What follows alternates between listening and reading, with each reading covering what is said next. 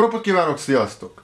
A Koréliai trilógia második kötete ott kezdődik, ahol a koréliai rajtaütés befejeződött. A korábban felvetődött kérdésekre megkapjuk a választ, de maradnak még megválaszolatlan dolgok.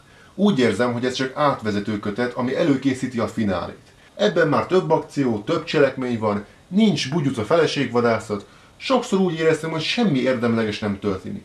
Persze kíváncsi voltam, mi fog történni, de nem varázsolt el. Viszont az utolsó 30 oldal elég jó. Reménykedem, hogy a befejező rész jobb lesz. Az új köztársaságban válság van. Már megint. Ki gondolta volna, ahogy ez lenni szokott a Jedi visszatér után játszódó történetek többségében. A koréliai rendszer lázad, a lázadás elindítói azt állítják, hogy képesek csillagokat felrobbantani. A rendszer népei, az emberek, drallok és szelóniaiak között dúl a rasszizmus, el akarnak szakadni az új köztársaságtól, és a másik két népet is ki akarják elrudalni a rendszerből. Hőseink egyedül vagy csoportosan slamasztikába kerülnek, amiből megpróbálnak kikecmeregni. Han Solo a Korélián az Ember Liga vendégszeretetét élvezi. Az ő történetszálának a nagy része nem tetszett. A szerepeltetése gyakorlatilag kimerül abban, hogy az A-ból B-be történő eljutás során az ő szemszögéből megismerjük a szelóniai kultúráját, társadalmát, ami ugyan érdekes, de Han Solo-tól többet vár az ember.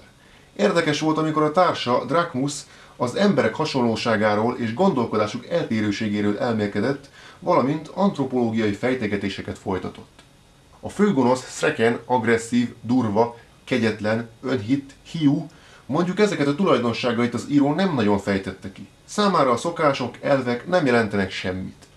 Leia a találkozó helyszínén raboskodik, aggodalmaskodik, de rájön, hogy nincs értelme, majd kezdi előről ugyanezt. Az akciójelenetekben túl profin viselkedik.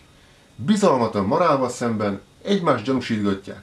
Nekem ez a történetszál tetszik a legjobban, még annak ellenére is, hogy Mara hajójának, a Jace Fire-nek a magyar fordításától falra tudnék mászni. A koreai rajtaütéshez hasonlóan itt is jáde tüzeként fordították. Ebben a könyvben már lényegesen kevesebb a helyesírási hiba, de gyakran találkozni vele. Az új köztársaságnak nincs elég rendelkezés álló támadó ereje, így Lendo és Luke azt a feladatot kapja, hogy nyerjék meg szövetségesnek a bakurát, és kérjék kölcsön a flottájukat. Luke találkozik egy régi ismerősével, sajnálja magát, hogy sose lesz családja, vezetőként, politikusként, képviselőként kell viselkednie.